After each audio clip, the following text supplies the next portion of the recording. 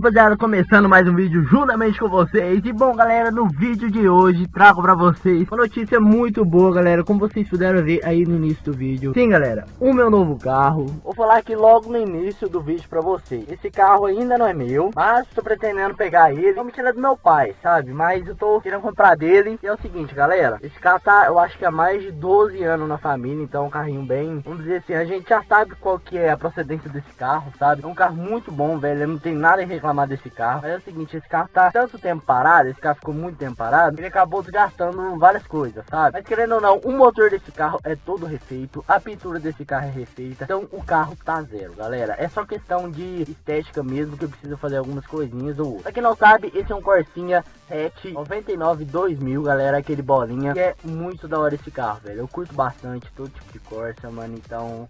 Eu não tenho nada a reclamar desse carro. Eu sei a procedência dele, por isso que eu tô querendo pegar esse carro, né? E como vocês puderam ver, né? Eu já tenho, já eu acho que três vídeos gravados nesse carro. Só ficou faltando esse vídeo. Desculpe porque domingo não teve vídeo, mas eu vou compensar esse vídeo nessa semana, beleza? É o seguinte, galera. Como eu havia falado pra vocês, precisa fazer uma coisinha ou outra pra você ter uma noção. A chave de seta dele, olha aqui, ó.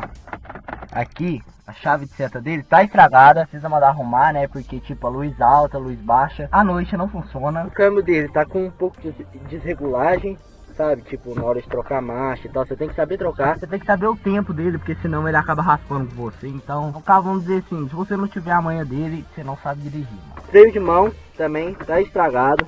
Mas é, que, mas é aquele negócio, né, galera? Isso aqui tudo é barato. É coisa que, tipo, é que nem um motor fundido, entendeu? É uma coisa simples. Esse carro tá sem as calotinhas, mas todas as calotinhas estão aqui. Aqui. As duas calotinhas. Quem não sabe também esse carro tem a roda do Vectra. Então eu vou fazer o seguinte, galera. Roda um trechinho aí pra vocês verem desse carro, beleza?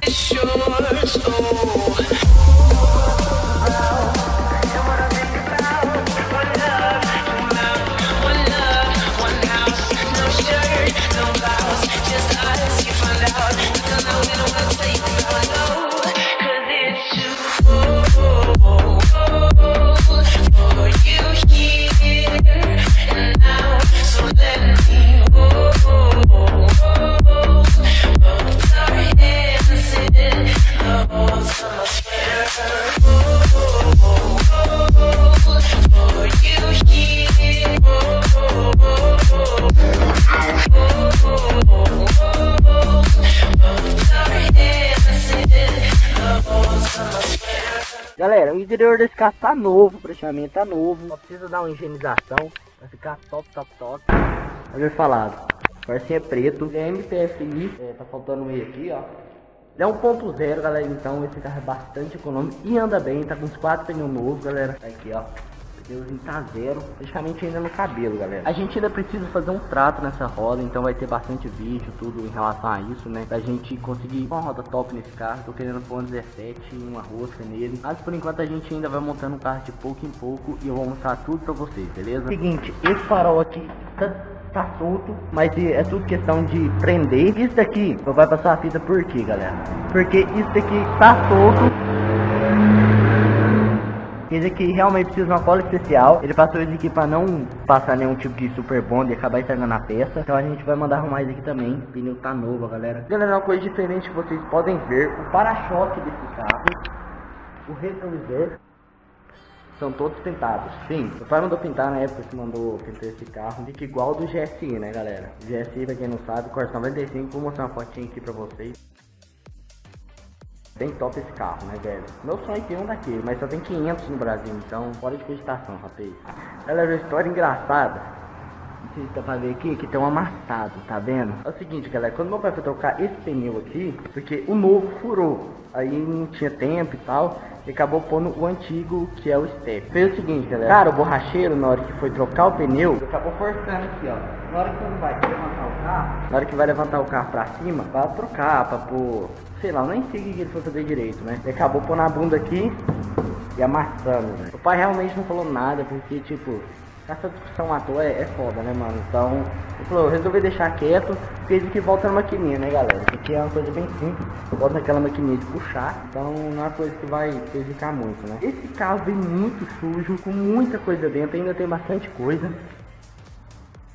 Tem uma mala dentro, tem muita coisa ainda dentro, porque eles viajaram literalmente 3 mil quilômetros nesse carro, galera. Só de volta. Então só pra vocês terem uma noçãozinha tanto que esse carro rodou, galera. Mas é o seguinte, velho. Eu tive que mandar ele pro Lava Jato ainda. Mesmo assim, velho, o carro ainda tá bem sujo, porque é o seguinte. Mandei esse carro pro Lava Jato. Eu ia gravar o vídeo no dia, mas não deu pra me gravar. No outro dia que eu fui gravar, choveu. Eu tive que sair no carro e aí bananou tudo. Aí depois que choveu, aí o carro infelizmente suja bastante, né galera? Mas quando eu fazer uma limpeza geral nesse carro, encerar bonitinho, aí eu vou mostrar ele pra vocês, beleza? Tirar uma fotinha, tem muito detalhe de lataria, galera. Muito detalhezinho de lataria.